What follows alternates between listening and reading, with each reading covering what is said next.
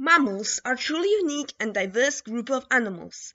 They are the most complex organisms on the planet. They are the dominant species. They manage to rule the land, water, and the skies. But mammals are the last surviving members of a diverse group called the synapsids, and this is their story.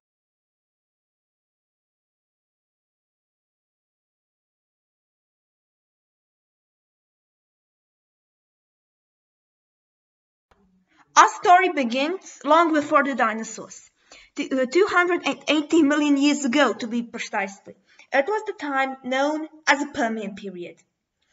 Uh, there were no continents because all the land was combined into the one big supercontinent called Pangaea.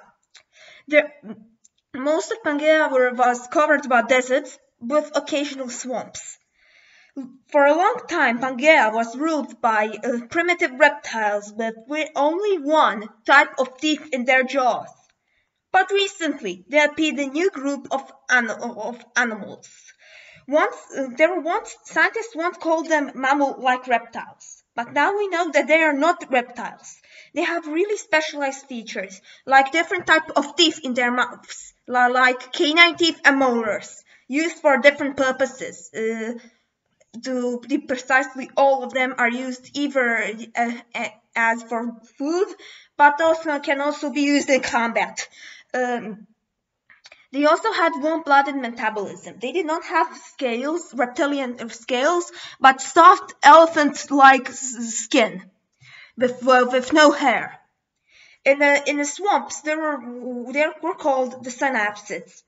One of the largest synapsids at the time lived in swamps. It was called Edaphosaurus. Edaphosaurus was one of the largest uh, creature at the, creatures at the time. But, but it was a vegetarian, peaceful vegetarian that fed on plants. But there was a, there was his closest living relative is one of the most famous prehistoric animals of all time. His closest his relative also hunted and killed them. It was called the Dimetrodon. The Dimetrodon is one of the most famous prehistoric animals. It's often de depicted alongside the dinosaurs, but it was not a dinosaur. Hell, dinosaurs uh, haven't even evolved yet. It was, it is actually um, synapsid, primitive synapsid. Sy uh, is actually more closely related to humans than it does to dinosaurs. Uh, they had the Edaphosaurus uh, the, and uh, Dimetrodon were very different in behavior and diet, but they all have one similar thing: the sail. Their sail was used to regulate the, regulate the own body temperature. But soon, the, these sailback beasts will begin to be extinct, man, making making us the members of a group to thrive.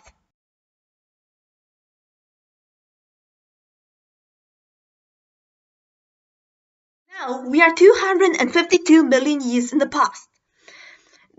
The droughts and climate change turned the, the whole Pangaea into into this hot sandy deserts. Synapsids finally became the dominant species on the planet. They were mm, there were now three main groups. First ones are the Lystrosaurs. The main characteristic of the Lystrosaurs are the tusks which were used for defense. The first, one of the first and the smallest members of a group was the Dicynodont. The Dicynodont was, uh, was a tiny creature uh, which lived under underground and fed on the roots of plants and had complex social structure. Another group of synapsids were called the Gorgonopsids, or aka Gorgonopsidea. They were named uh, by uh, they were named by British scientist Sir Richard Owen. They uh, by and their the inspiration for their name came from the the monster from Greek mythology called the Gorgona, or as you might know her, Medusa. They were the apex predators of their environment. They were characteristic. The main characteristic was their saber teeth. Saber teeth is currently only known in synapsids, and it will evolve independently in the in the next in the next few in, in the millions of years to come. The biggest and most dangerous members of the group was the the Gorgonopsid. Another very most and the most most important group of all of these are the the cynodonts. The cynodonts uh, uh, are um, very diverse group and one of the most important members of, a group was the, the cynodont. The cynodont is probably the most famous for being that one guy from the that one from the first episode of Walking with Dinosaurs.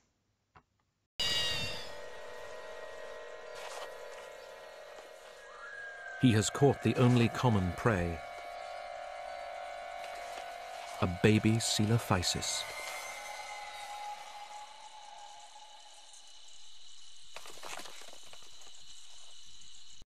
Is one of the luckiest organisms that ever lived on the planet. Because sadly, 252 million years ago was the, one of the worst times to be alive on the entire history of our planet.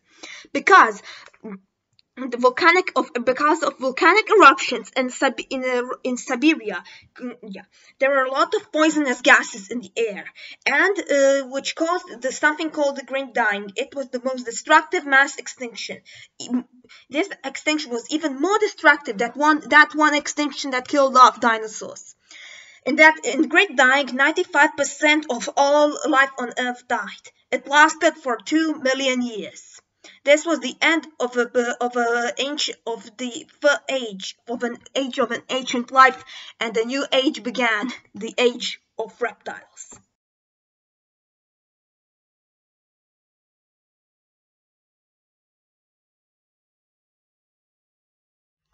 The first chapter in the Age of Reptiles, more scientifically known as the Mesozoic uh, era, was the Triassic. Uh, it started 250 million years ago. Now we are 245 million years in the in the past. World is currently in a very big mess. Firstly, the the the, the ecological niches once filled by giant by uh, by other animals that died during the Great Dying was empty. In the waters, instead of giant creepy crawlies, we had uh, marine reptiles for, like like nothosaurs. In the air, instead of giant bugs, we have flying reptiles, more scientifically known as the pterosaurs. These niches were quickly uh, conquered, but land was very difficult to challenge. On the land we have multiple uh, groups. Synapsids managed to su uh, survive, uh, survive, but they were quickly outcompeted by a new group of reptiles called archosaurs. There were currently at the time three main groups: the pterosaurs, which currently rule the, uh, the air, and a new and another new group, the dinosaurs. They, but dinosaurs weren't very big threat because they were small and only limited to small uh, to hunters of small animals. But the, the, the apex, apex predators of their environment were the very diverse group of crocodiles. Crocodiles aren't just uh, limited to watery environments. They lived a few million years before Great Dying, but the, but the early Triassic was their time to shine. This, soon, the predators like Saurosuchus and Postosuchus uh, grew larger and became the apex predators of their environment. But synapsids had one advantage the uh, numbers. They were still relatively dominant species on the planet, although they were not on the top of the food chain. Uh, one of the lucky survivors of the extinction was a small lystosaurid called Lystrosaur. The Lystrosaurus was wasn't very isn't very special for a uh, for a synapsid standards, but it is really important for paleontology.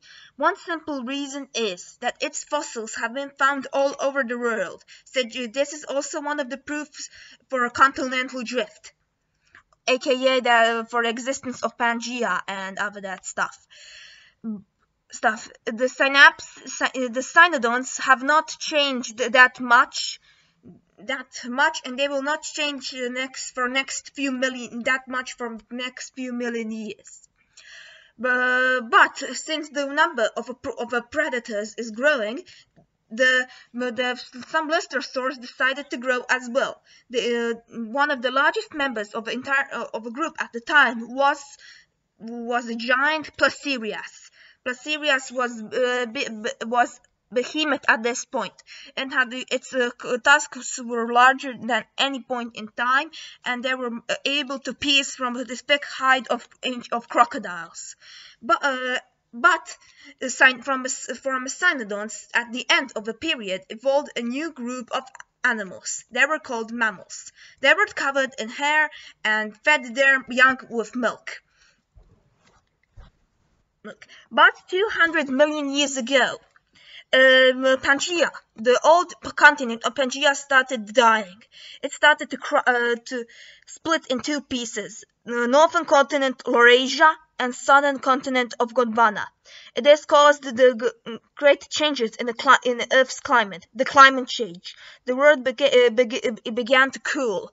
This, uh, this, this was an uh, arrow in Achilles' speed for synapsids. All synapsids except mammals went extinct.